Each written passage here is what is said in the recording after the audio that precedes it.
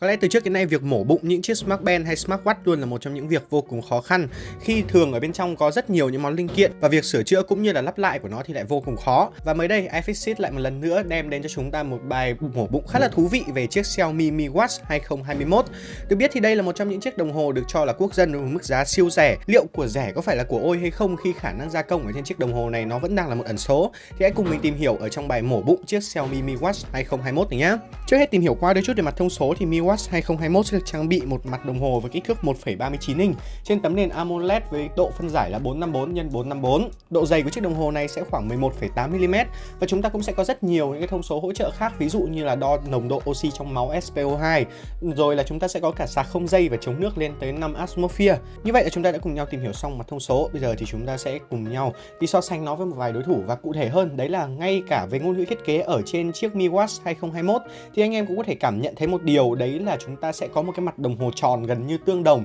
so với chiếc Galaxy Watch. Và khi mà đặt giữa hai chiếc đồng hồ này thì chúng ta sẽ cảm nhận thấy một điều, đấy là độ dày của mặt đồng hồ ở trên hai chiếc máy này. Nó có một cái sự chênh lệch nhất định và nó sẽ bị ảnh hưởng trực tiếp đến cảm giác đeo tay của chúng ta. Nếu như mà chúng ta đeo những chiếc đồng hồ to về lâu về dài thì nó sẽ xảy ra hiện tượng là nó sẽ bị in hẳn lên đôi tay của chúng ta. Đó sẽ là một trong những điểm mà mình cần phải lưu ý đối với anh em. Và khi mà chúng ta xét ở phần mặt sau thì chiếc Mi Watch 2021 này được gia công một cách khá chắc chắn. Khi chúng ta có bốn đầu vít được đặt ở bên phía bốn góc cạnh phần gắn với lại cái dây đồng hồ của chúng ta. Khi mà chúng ta nói đến như này thì mình thấy rằng đây là một trong những chiếc đồng hồ đem đến cho chúng ta cái độ an toàn nhất định. Khi mà chúng ta làm rơi cái phần mặt đồng hồ phía sau xuống thì nó cũng không xảy ra hiện tượng là nó bị bung hoàn toàn ra. Nó sẽ giúp cho chúng ta có thể sử dụng một cách an toàn và thoải mái nhất. Ở bên phía bên trong thì sau khi nhắc lên chúng ta đã nhìn thấy phần pin ở trên chiếc đồng hồ này vô cùng dễ dàng. Và viên pin ở trên chiếc đồng hồ này sẽ có dung lượng đấy là 1,62 Wh tạm thời khi mà chúng ta quy đổi ra thì nó sẽ dao động trong khoảng 420 mAh ở hiệu điện thế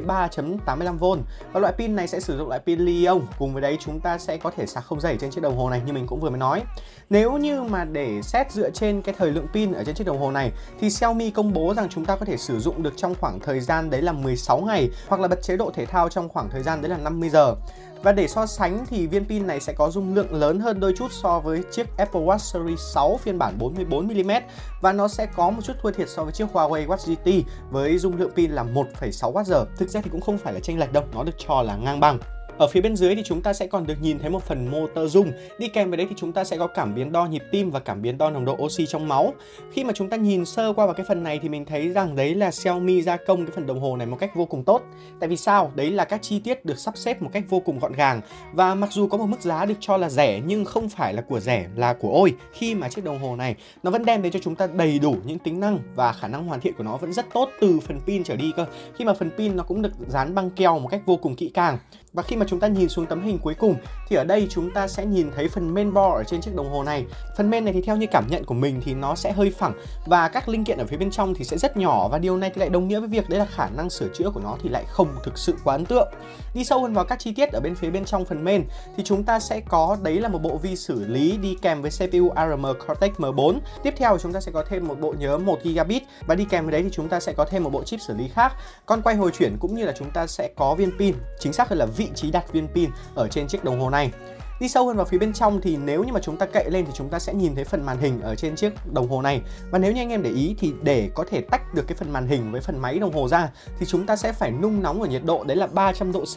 và chúng ta sẽ phải sử dụng một mũi dao thật là sắc. Nhưng mà nếu như chúng ta sử dụng một cái lá bài thì chúng ta vẫn hoàn toàn có thể bẩy lên một cách rất dễ dàng. Đồng nghĩa với việc đấy là cái khả năng sửa chữa ở trên chiếc đồng hồ này nó không thực sự quá cao khi mà chúng ta hoàn toàn có thể sử dụng những thiết bị chuyên dụng, chính xác hơn là những cái thiết bị thông thường trong cuộc sống hàng ngày của chúng ta là chúng ta đã có thể mở chiếc đồng hồ này ra một cách rất dễ dàng rồi. Và nhìn sơ qua về toàn bộ những cái món phụ kiện đi kèm thì mình thấy rằng đây là những món phụ kiện được cho là rất nhỏ và nó sẽ ảnh hưởng trực tiếp đến cái quá trình sửa chữa của chúng ta. Và chính trang iFixit cũng đã khẳng định điều này khi điểm sửa chữa ở trên chiếc đồng hồ này chỉ dao động trong khoảng là 5 trên 10 vậy thì anh em anh em thấy sao về chiếc Mi Watch 2021 thì hãy để lại ý kiến của mình ở phía bên dưới phần comment. Và nếu như anh em cảm thấy video này hay thì hãy nhớ like, share nhớ subscribe kênh youtube của chúng mình. Nhớ bấm chuông không bỏ lỡ những video mới nhất. Còn bây giờ thì xin chào và hẹn gặp lại anh em ở trong những video tiếp theo.